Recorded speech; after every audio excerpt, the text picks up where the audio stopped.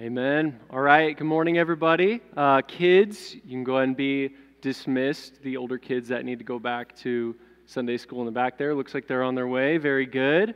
Well, welcome, everybody. My name's Travis. I'm one of the pastors here at Veritas Dubuque. Glad to have you here this morning. I know it's a little gloomy outside. Usually we get the sunshine in here, so we're having to, you know, we're having to bring the energy ourselves this morning. So that's okay. We can do that. Um, I got to say at the top of the message here, it is September 22nd. So um, just want to give a quick happy birthday to uh, Bilbo and Frodo Baggins. Um, so, yeah, you can clap for that if you want to. You don't have to, though. Uh, okay, sorry. Get that out of the way. Jacob Faber is reading Lord of the Rings for the first time. And this morning he read the part where it says that September 22nd is their birthday. So we had to acknowledge it. Okay, so we're going to be in Romans chapter 4 this morning. So you can go ahead and flip uh, in your Bibles, turn on your Bibles, go to Romans chapter 4. And we're going to be in verses 1 through 8 this morning. And so what we're going to be thinking about this morning is how we are, that song that we just sang is actually like the whole sermon. I could just read the lyrics of that song, basically. Like, we are given the merit of Jesus. We don't do anything to earn it. It's not our own merit. It's all the merit of Jesus that we receive. And what we're thinking about this morning is how we don't do any works to earn this. We don't have anything to earn. Okay, so I'm going to give you an insight into my mind a little bit this morning. So, something I was thinking about this week. So, whether you like it or not, you get to get a little glimpse into my, my mind. I can be kind of a skeptical person uh, I, if I choose to be in my head, I, I have a lot of skepticism. And so I was wrestling with something this week and thinking about how sometimes in our life, when we do something, it can be an act of faith. Like th- sometimes our actions can demonstrate our faith. Well, sometimes our actions can also demonstrate our lack of faith. And sometimes it's not exactly clear which it is, especially from the outside. So here's what I was thinking about this week was Noah's ark. Right? Noah is told by God to build this ark, and he does. Right? And he trusts God and he builds the ark and and and so he does this thing that seems kind of crazy probably. It's not a very typical thing to do at his time, but he does it anyways. He might have seemed crazy to people around him, but he was making this act of faith, right? He was being obedient to God regardless of what all the people around him thought. Okay, so now here's my skeptical mind. Again, I'm warning you, I'm a little skeptical. What if you could build an ark out of a lack of faith as well? So, some of you might know there's an ark museum in Kentucky. There's like a creation museum, and they reconstructed Noah's ark. Here's where my skeptical heart goes is like, what if we're supposed to believe that story on faith and not prove it to be true? What if building a second ark is a massive act of unfaith? What if we're trying to prove to ourselves that this actually happened? And instead, we should be loving and serving God, putting our lives toward other things. Noah wasn't trying to do anything to please men around him, he was obeying God when he built the ark. Do we do the opposite now when we try to build an ark? Okay, like I said, I'm skeptical of it. We'll come back to it. We can, here's my point like, we can do things that seem really good out of a heart of wanting to prove ourselves or to earn something or to do something on God's behalf that God has already done for us. So I'm coming at everything, like even our Bible reading, like, what's your motivation if you go to read the Bible? Are you doing it because God loves you, or are you doing it because you're just trying to impress somebody else? What about prayer? Are you praying to be seen by other people, or are you communicating with your God? So that's my skeptical mind. We'll resolve that, but, but that's my skeptical mind. Is our, our actions a demonstration of our faith or a demonstration of our lack of faith? Sometimes they can be very close. Sometimes they can be very close. So, what do we believe this morning? Do we believe Jesus earned salvation for us, or are we still trying to earn it ourselves? Are we doing things in our life where we're trying to earn something that Jesus has already offered to us for free? Are we trying to appear impressive before other men instead of simply receiving a gift? Today, in the sermon, it's not about what we do, it's not about how your life is, right? It's not about what we deserve, it's not about what others think of you. It's not about if your, your life is all put together and pretty or if your life's just a hot mess. It's not about what we do, it's not about what others think, it's not about external things, it's about what do you believe? Do you believe that Jesus gives you his righteousness or do you try to earn it?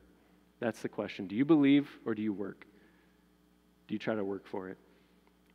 Paul in the text today is going to look at these two guys, Abraham and David. And these are guys that generally are regarded as very faithful men. Abraham's called obedient by God. David's called a man after God's own heart. And yet, Paul is actually using them as examples of people who don't get their righteousness from their works, they receive their righteousness from God. Let's read the text Romans chapter 4, verses 1 through 8. What then will we say that Abraham, our forefather, according to the flesh, has found? What did Abraham find? What did Abraham discover? What do we learn from his story, right? If Abraham was justified by his works, he would have something to boast about, but not before God. For what does the scripture say? Abraham believed God, and it was credited to him for righteousness. Now, to the one who works, pay is not credited as a gift, but as something owed right? In other words, if we try to work for this righteousness, we make God a debtor to us. We try to make God owe us something. To the one who works, pay is not credited as a gift, but as something owed. But to the one who does not work, but believes, to the one who does not work, but believes on him who justifies the ungodly, his faith is credited for righteousness. Likewise, David also so he talks about Abraham, now he's talking about David. David also, similarly, speaks of the blessing of the person to whom God credits with righteousness apart from works.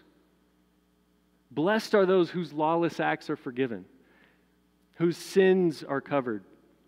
And blessed is the person the Lord will never charge with sin. That's God's word to us this morning. So, we're talking about do we believe or do we work? And here at this church, when we read the Bible, here's what we believe. That's what we're saying this morning. Like, if this is about belief, if this is about faith, these words have the same root, same Greek root belief and faith, same thing. If this is what we believe, what is it? This important belief that supersedes all of our actions, more important than any actions that we ever do. What is it? Paul uses these two stories, these stories of Abraham and David, to, to demonstrate what we believe. Okay, here's what we believe. The first thing we believe, so important for us to understand this, is that we don't earn. In the economy of God, of our salvation, we don't earn. He's saying in verse 1 that Abraham discovered this. In other words, he's saying that that this is like what Abraham's story demonstrates. What did Abraham, our forefather according to the flesh, find? And then he says if Abraham was justified by works, he'd have something to boast about, but not before God, right? Even if Abraham was the best man that ever lived, he's still unjustified when he comes face to face with God. It doesn't matter if he's the best man that ever lived. What does the scripture say? So it says, Abraham believed God and it was credited to him for righteousness. Now, we need to understand the context of where this is said and the story that's going on when, when it says this. Okay, so it's back in Genesis 15. It's this story about when God kind of first starts interacting with Abraham. He's saying, Abraham, I'm going to give you a lot of offspring. And Abraham, by this point, is already very old, and his wife is already very old. So he's saying, Okay, how's this going to work? Abraham, he says, Look at the sky and count the stars. If you, are to, if you were able to count them, look at the stars and count them if you were able, right? Your offspring will be that numerous. That's what God says to Abraham. Even though he's in his 80s, his wife in her 70s, look at the sky, count the stars. Your offspring will be that numerous. And then it says, Abraham believed the Lord, and he credited it to him as righteousness. So, right there, he believed God. Here's the crazy part of the story him and his wife, in my opinion, don't seem to act like they believed God. So, his wife, Sarah, says, Okay, God is going to give you many offspring. Well, I'm already in my 70s, so I'm not able to bear children anymore. So, this must be the way God's going to do it. She gives Abraham her slave, Hagar. Maybe this is how God's going to bring many children. Abraham gets Hagar pregnant. Obviously, Sarah stops to think about this after the fact, gets kind of upset. It creates a lot of conflict, okay? Skipping over a lot of parts of the story, but eventually they resolve this. God says, No, that's, that's not the way I was planning to bless you, Abraham. You and your wife, Sarah, are going to have children. And God does it. When Abraham is 100 years old, Sarah is 90 years old, they get pregnant. They have Isaac, right? That's how the story goes. So, here's the crazy thing to me that this verse is before all that happens. Abraham believed God, and he credited it to him as righteousness. Somehow, Abraham had faith through all of that, even through his wife giving him her slave. And they're like, let's try it this way. Somehow, Abraham had faith through all of that. Abraham was credited with God's righteousness despite his works, his acts of unfaith. That's incredible to me. Now, here's the amazing thing the baby that he had with Hagar, right? He, he broke, like, he did that against God's will, right? That's, that was not the way God was planning for them to do this. Here's what's amazing about God He blessed that child. That's Ishmael. Ishmael goes on to have all these fruitful offspring as well. And in fact, it's, it's part of the way God does fulfill his promise to him. Like, these are part of Abraham's offspring. God redeems this thing that Abraham and Sarah did out of unfaith to bring blessing. Okay, back to the beginning. My skeptical self. I'm not telling you this is the right thing to be skeptical of the Ark Museum, by the way. I'm, I'm like confessing this to you.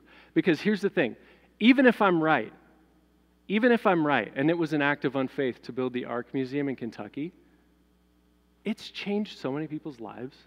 It's been a blessing to so many people. So, first of all, I'm probably wrong and I'm probably just skeptical. But second of all, even if I'm right, God is using it to bless people. We just can't get in God's way. Like, no matter what we do, our works are not what saves us. It's God. God is at work through us. When we obey Him, even when we disobey Him, this is the point. Like, we don't earn it. Either way, whether we build the Ark Museum or not, guess what? It's not what we do that earns our salvation. We are used to, in this culture, something called meritocracy. Have you guys ever heard this word, meritocracy? It's like whatever you merit, it's like you, you decide who's going to have each job based on who merits it.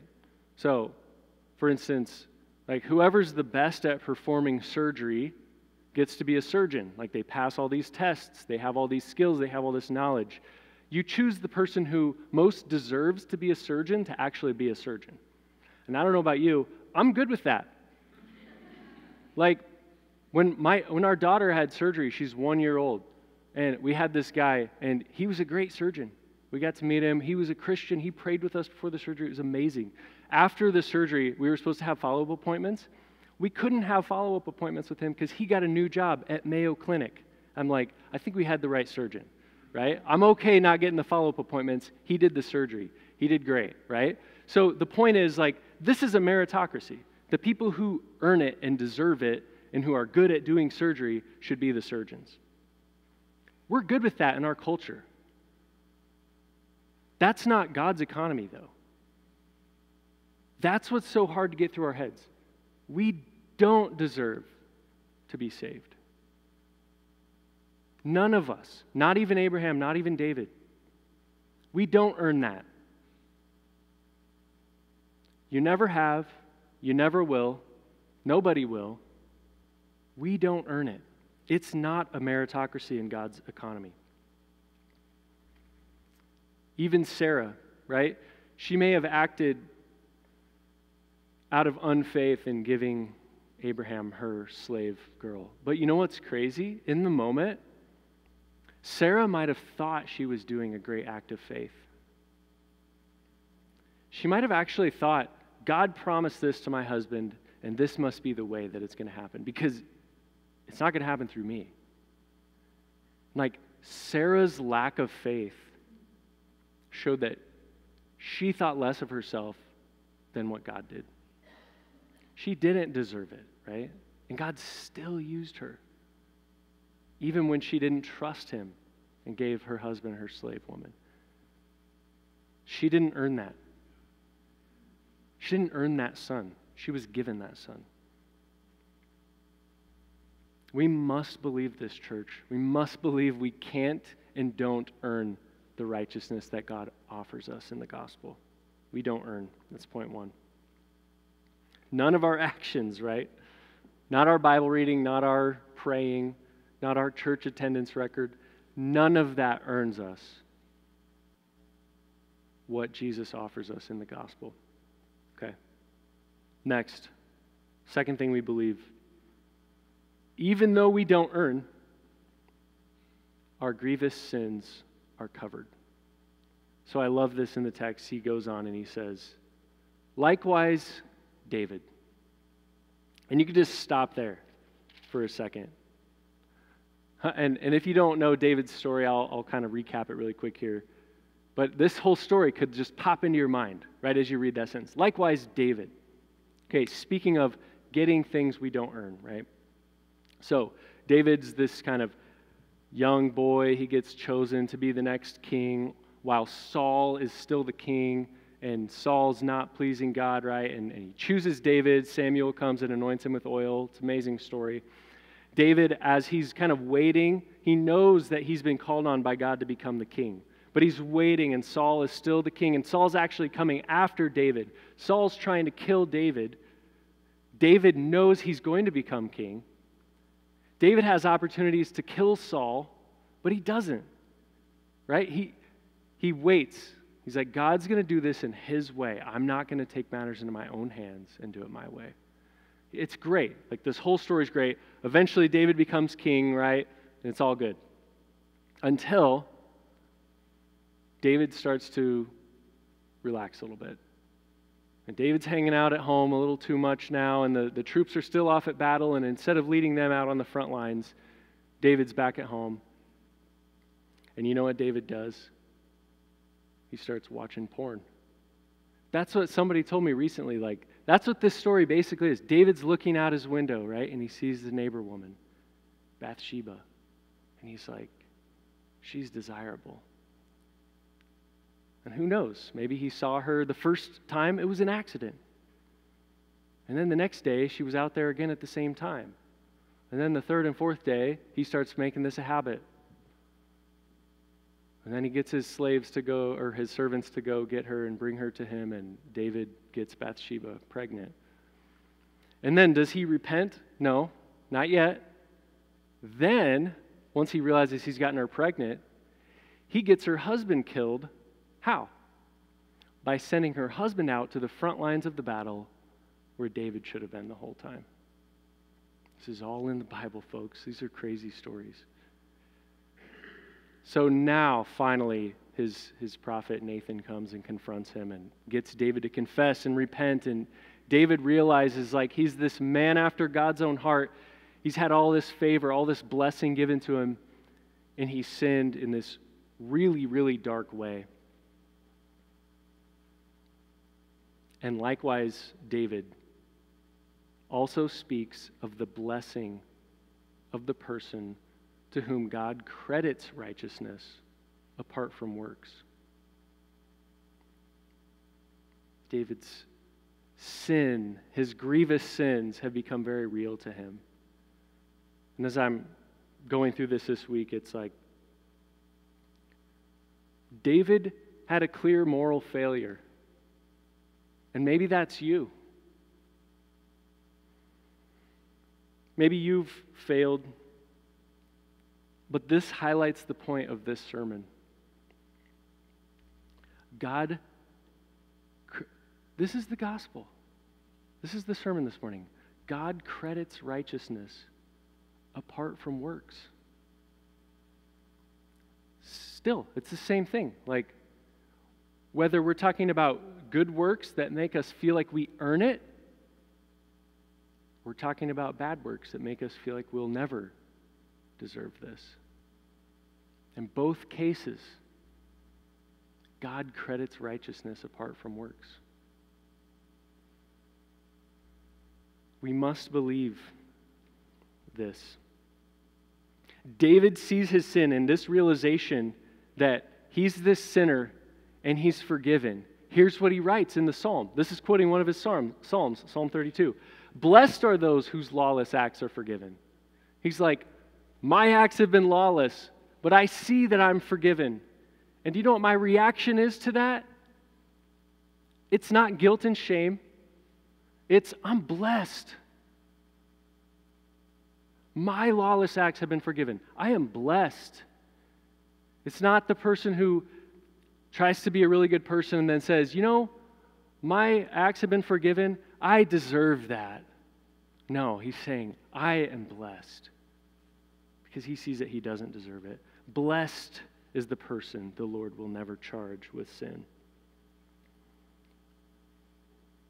We must believe this, church. So, what it says in verse 7 is past tense. My sins are covered. Whoever sins are forgiven, whoever sins are covered. That person is blessed. It's not like they're still in the process of being covered and, and we're still, and you, you're still working on something. No, he's like, they are covered.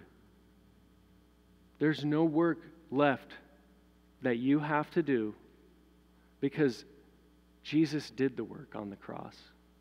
That's why he said, It is finished. The work that you never could do and are not worthy to do, Jesus Christ did for you and offers you that gift. This is supposed to be seen as a blessing. This is supposed to be good news. So I've been realizing lately that I, we, partially, you know, this section of Romans, it talks about sin a lot. So it's like we have to talk about sin a lot, and we should talk about sin. It's an important thing to talk about. But sometimes then I realize that I'll come in to preach a sermon, and my motivation is to make everybody feel convicted because I was trying to make myself feel convicted all week and feel almost like guilty. Like, I want to make sure we all feel guilty, you know, so that we really understand what's going on here. This week I'm reading my Bible because I'm just feeling weary and tired. And I know in Isaiah chapter 40, there's something about the Lord gives strength to the faint and strengthens the powerless, right? But before I get to that part of the chapter, right at the beginning, Isaiah chapter 40, here's what it says. This just struck me like a bolt of lightning this week. He's, he says, Isaiah, comfort my people. Set, comfort my people. Speak tenderly to Jerusalem and announce to her that her time of hard service is over. Her iniquity has been pardoned. Like, I don't need to come in here and, and convict you. I need to come in here and comfort you. Your iniquity has been pardoned. The work has been done. Jesus Christ finished it on the cross. That's what grace is. That's what we preach about is grace. Grace is the good news that that thing you feel, like that guilt you feel, Jesus already paid the price for that. It is paid, it is finished. We don't have more work to do in terms of our righteousness. We are given fully the righteousness of Jesus when we trust Him in faith. So, we're going to do the, the cross bridge diagram. Have you guys ever seen this? You can go ahead and put this one up. So here's the cross bridge diagram. So there's man on the left and there's God on the right. And Romans 3:23, right? Sin separates us from God. So this is our position in life. Have you guys seen this? You so like someone was like, "Oh, this is the old napkin gospel presentation. You can draw this on a napkin." You draw a man over here, God over here, and then what happens? Jesus comes in the middle. The work of the cross is the bridge that connects us back to God. Like that's how we can get back to God. Here's my modification church. Here's what this message is warning us against. We want to add to that. We feel like there's still work left for me to do. Like, Jesus, thank you for the cross. That's going to be a great safety net for my bridge that I build back to God. Just in case it's not quite good enough, then I'll, I'll rely on you. But really, I'm going to rely on myself. My hard work, my efforts, how I look in front of other people, so what happens? That's our work, and we're not seen through the lens of the cross. Do you guys like my art? Do you guys think I should do like. If we try to do it our way, it still doesn't work because our sins are still not covered. Do you see the problem? So reset it. Like, we want it to be harder than it is sometimes. This is what we've been saying a few times lately. There's no catch. Here's the gospel we are separated from God, we walk to Him. That's our faith. And I realize, I think it's actually crucial when you draw this diagram that it goes through the cross. Because this is what we're saying the justification that Jesus earns for us on the cross is the only way we can be made right with God. Only through Christ crucified on the cross can we be made right with God. So, how do we apply this? Okay. It would be a shame if I made this whole sermon about how we don't have to work and then I gave you a bunch of work to do to apply the sermon. So, I'm actually going to try to make your life easier this week with the application, okay? First, here's what you do. What did God tell Abraham? Go count the stars. That's how many children you're going to have. Here's what you guys do this week go count the stars. God has promised to bless you. Here's Ephesians 3. Now, to him who is able to do above and beyond all that we ask or think according to the power that works in us, to him be glory in the church and in Christ Jesus to all generations, forever and ever. Amen. God is able to do way more than you could ever ask or think. God has promised things beyond your wildest imagination. And the way you get them is not by doing what Sarah did and trying to find your own way, right? It's just by walking in faith and receiving. Count the stars, count the blessings, count the blessings you have, count the blessings you want, count the blessings of eternity. You have so many reasons, like David this week, to consider yourself blessed. And the first among all of them is your lawless acts are forgiven, your sins are covered. The Lord will never charge you with sin. So count the stars, count your blessings, right? Second one, don't take the stairs. You know how in fitness, like if you're trying to get healthy, you're supposed to, I'm not going to take the elevator, I'm going to take the stairs. You know, you have to do the hard way, right? In your faith, it's the other way around. Stop taking the stairs. What's the hard thing that you do that you put yourself through that you think earns you favor with God? Remember, I, I, at the very beginning, I was talking about the ark thing because I feel like it can be splitting hairs when you think about this. And I think the only person who knows the answer to this one is you in your heart. Only you know if you're doing it out of faith or out of a lack of faith. Like, what's the Donald Whitney 12 spiritual disciplines? What's the spiritual discipline that you don't like? Stop doing it. Because guess what? It's not drawing you closer to Jesus. If you don't like it, stop doing it. Stop trying to earn righteousness. Fall in love with Jesus. Fall in love with His Word. If you read it like it's a chore, man, change up your reading. If this doesn't give you life, like if you're not worshiping and singing songs because you love Jesus, but you're just here because you think somebody else wants you to be here, or it's a chore, or you think that this earns you more favor with God. No. Remove that burden. Stop taking the stairs.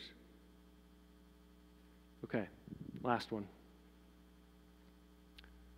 Rest and worship.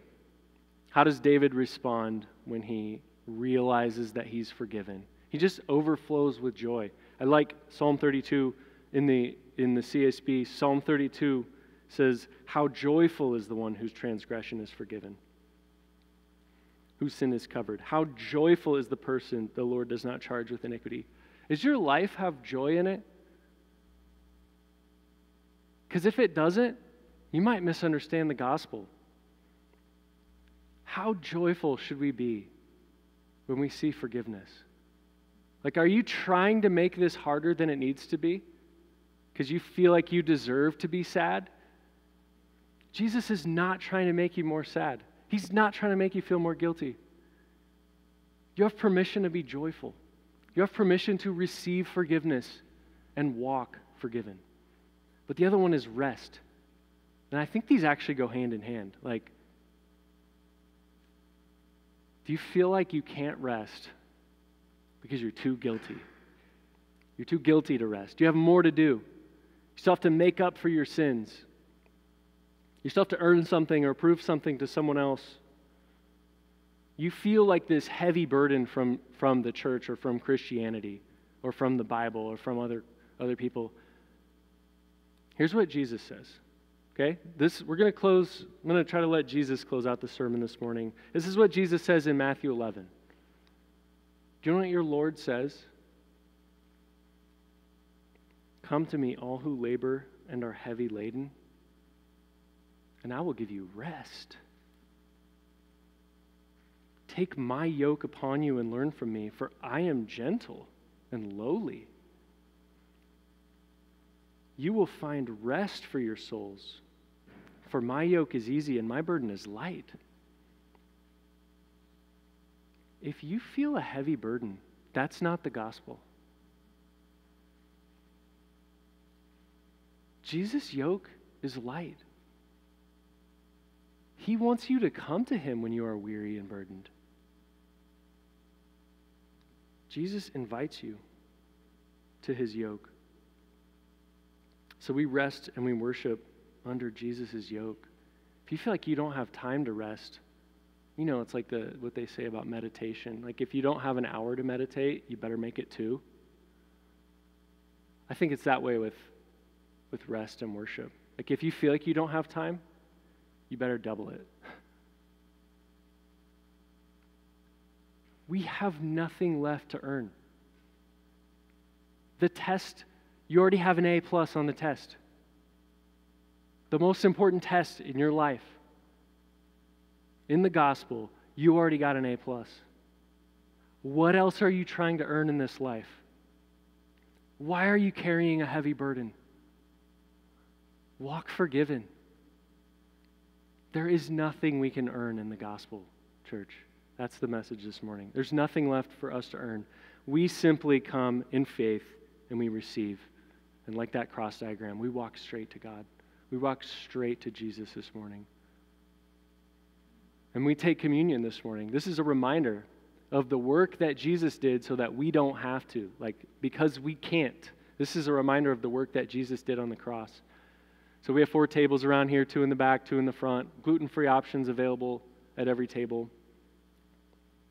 And if you believe that there is no work that you could do to earn salvation, but you believe Jesus did it for you and offers it to you as a gift, then we invite you to come.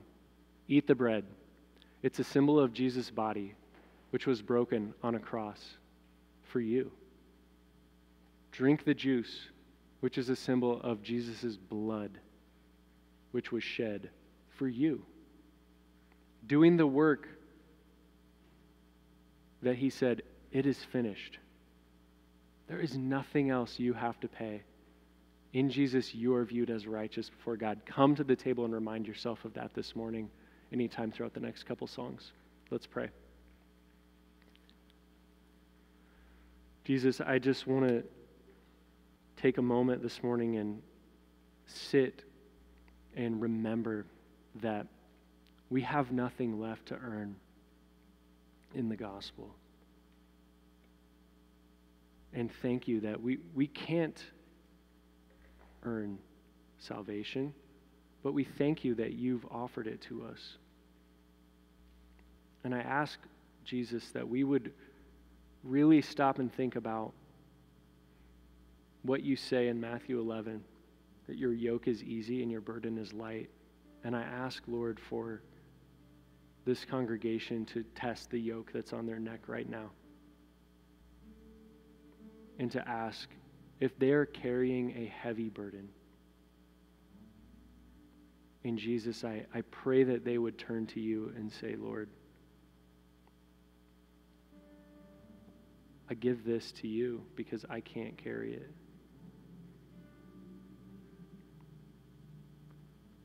That they would do that in trust and faith. That we would truly believe that in your economy, Lord, it's not a meritocracy. We don't merit, we don't earn the salvation that you offer. Truly, there is nothing for us to do but to receive and to thank. We receive it and we thank you, Jesus.